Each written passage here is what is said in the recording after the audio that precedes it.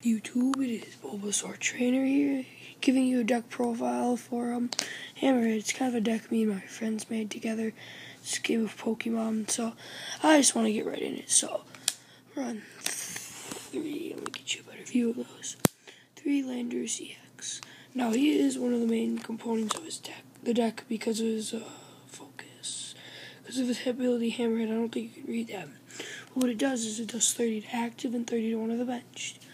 So it's a good turn one play because it only costs one fighting energy.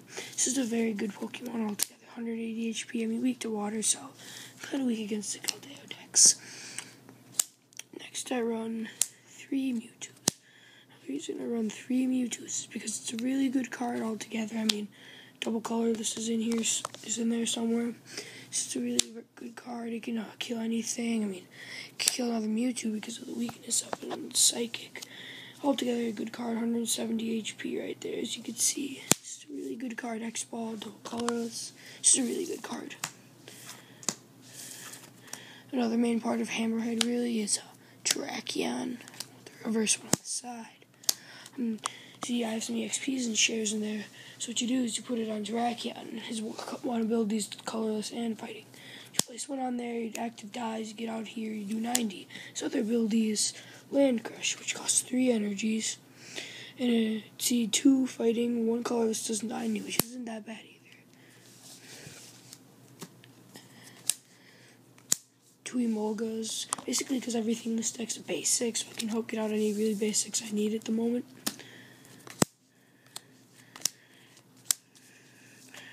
Pokemon catchers, that's just um, basic staples. Everyone should run four catchers, maybe three. Oh, I'm sorry, I'm keeping my voice down. It's just kind of late at night and uh, family's sleeping. I couldn't find a better time to do this.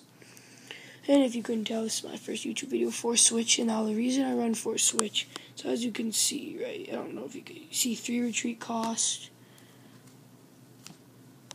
Oh, it's the same guy. Hmm. Retreat cost. Retreat cost. The only thing I have that has a lower retreat cost is um Molga, which is free. Four heavy balls, as you can tell, obvious reasons. My main dudes have a retreat cost of three or more, so I run this bad boy. Three EXP shares. This is another main part of the deck. Basically, I can get these onto my bench Terrakion. So then when my Landorus dies, which should probably be my active at the time, it gives the energy off to Terrakion. So they'll come out and retaliate for 90, do a lot of damage. Maybe die to a Keldeo, but I'll have another one on the bench. Eviolite, good good card in here because it reduces the 20 damage your dudes will take. Everything in here is a basic, so it won't it won't like ever be bad really. Rocky Helmets, pretty good card. I don't see why people think it's bad. It's a tool, does 20 damage. It's just really good. It doesn't have to be a basic. Two Tool Scrappers, that's just for um for if I come against like a mirror match or against um my friend who plays Garbodor. It's really good. Computer search, obvious reasons, everyone should run that. No, I don't think people will with me here, but I personally like to run four ends. I don't see Colress as being a better card in here.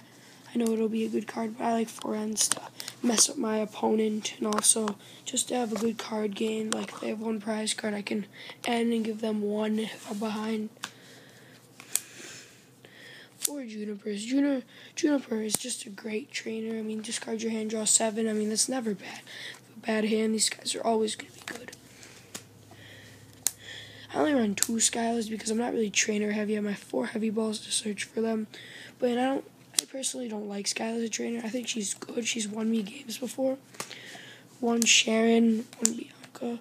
Just because Cheren's okay, you can draw me three when running four Junipers, so I don't really need that. Bianca's just okay. I mean, draw up to six. I, that can be pretty good at some points. Three double colorless. Three double colors. I move for moving over there. You just saw my cat. I, I, I run three. I don't want four because I already have some energy problems on this deck. Three, obviously, for Mewtwo and even uh, Terrakion and Landorus can use them. Like, I don't know why I keep moving to the side.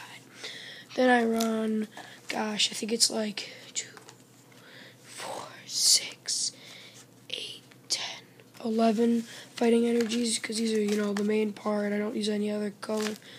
Well, yeah, thanks for watching. That's my deck profile. I like what I like to call MC Hammerhead with a touch of Mewtwo.